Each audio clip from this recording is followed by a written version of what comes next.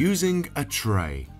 In this lesson, we're going to look at how to use a tray during service. We'll be looking at how to best place items on a tray, how to remove items from a tray, and finally, how to clear using a tray. Let's start with how to best place items on a tray. Remember that smaller trays are easier to carry so you should never use a huge tray to carry one single drink. It will be incredibly difficult to control and looks very silly. For balance and perfect weight distribution, always place the heaviest item in the center of the tray. This way, you can remove it without changing the weight distribution of the tray.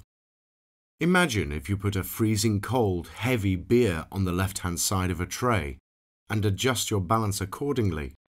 When you take it off the left-hand side, you will change the way the tray is weighted completely and things could go flying. When setting up your tray, the order in which you place the drinks on the tray is important. For example, because we always serve the ladies first, we should set up the ladies' drinks where you can reach first. Next, let's look at how to remove items from a tray. Always remember when you take things off your tray that this will change the balance of the other items on the tray. So always think ahead about how the balance of the tray will change when you are removing something. When carrying hot items, such as tea, coffee or hot soup, always serve the hot items off the tray first. These items are the most dangerous and burning a guest would be an absolute disaster for this reason, be sure to always take the hot and heavy items off the tray first, remembering how the weight and balance of the tray will change once the item has been removed.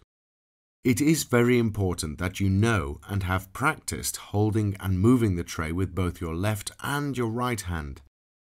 This is so that when placing items down, you can swap the tray between hands in order to always provide the guest with open body language.